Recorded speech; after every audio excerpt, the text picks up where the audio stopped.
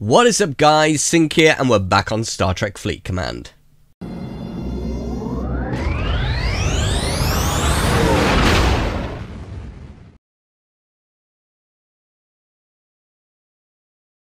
So as you can see, coming soon is Act of War Part 2. And you will notice that these ships, uh, you've got the Legionary, you've got the Mayflower, you've got the D3. They have a sort of uh, dark grey and gold sort of theme to it. Now this is going to be part of the Augments event. It's going to be the Hijacked event. Let me quickly show you. So yeah, at the release of this video, there's going to be uh, some new events going on, which is, as you can see, Act of War Part 2. Now, you can't actually see it here because I'm actually recording the day before the release of the event, but when the event goes active, players level 17 and 18 can actually get involved with this. And what it is, is if you go to the ships right now, you're going to see four ships, the Separatist D3, the Hijack D3, the Hijack Mayflower, and the Hijack Legionary. Now, as you saw from the screen earlier, they've all got this sort of grey gold look, apart from one, which is the Separatist D3. Now this actually I think is the coolest looking of them all and as you can see there that is the D3 the separatist one and I just love the paint color scheme on this because it just makes the D3 look more evil than it already looks. And I think it looks friggin' fantastic. Now, as we look here, the D3, the regular one, has 139,000. Uh, the Mayflower 149,000 and then the Legionary 152,000. So if we go to the actual hijacked ships as well as separatists, as you'll notice, the stats are exactly the same. What it is is basically the augments hijack these ships. In other words, they, they, they stole them. They're, they're thieving little buggers. That's what they are. They actually stole these ships and you can actually get hold of them.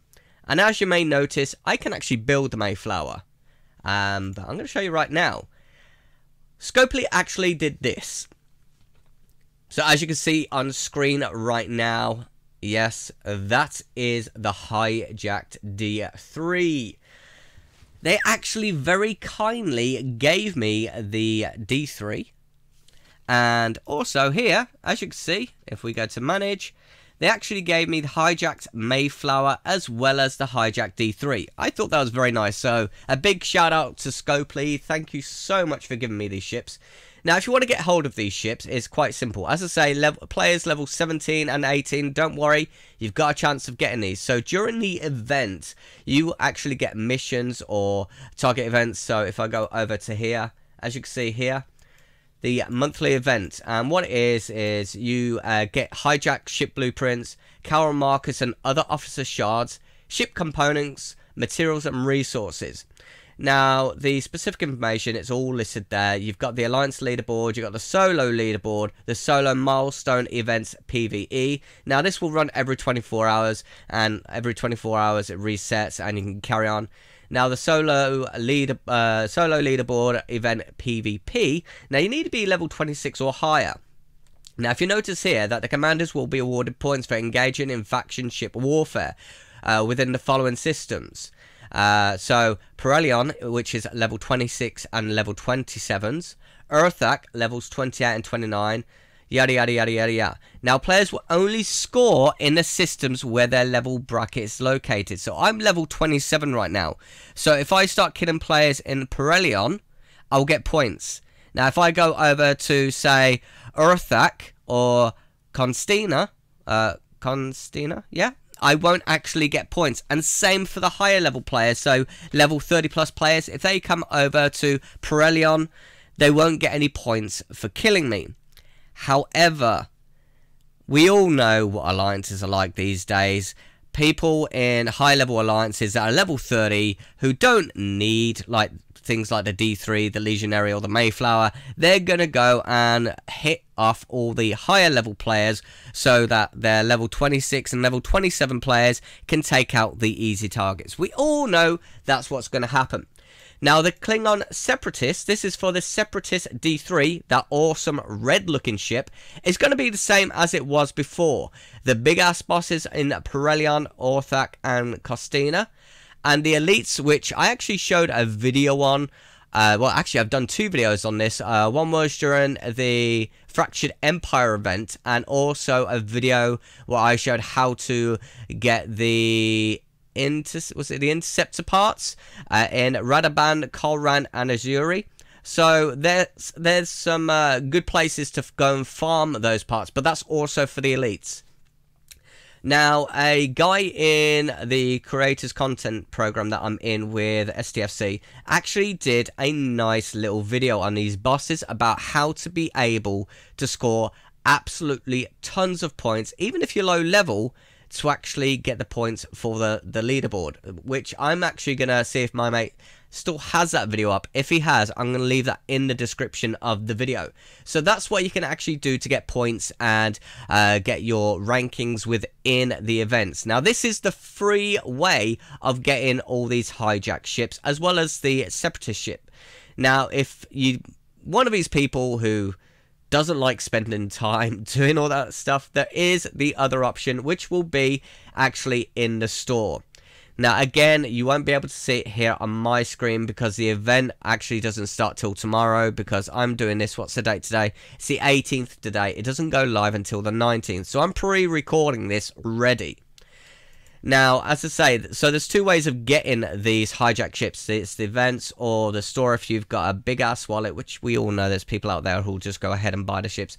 Again, I'm so thankful that um, Scopely actually gave me these ships. There we go. There is the Mayflower. And there is my D3. The D3 looks so tiny, though, compared to, uh, say, the Vahklas. The Vahklas there. The D3 looks so tiny. It's so cute. But as I say, my favourite one out of the whole thing, it has to be... Where is it again? It's over here. The Separatist D3. I mean, comment. It looks so cool. Now, I'm actually hoping, and I'm going to suggest it to them, maybe in the future we're going to be able to design a colour scheme for our ships.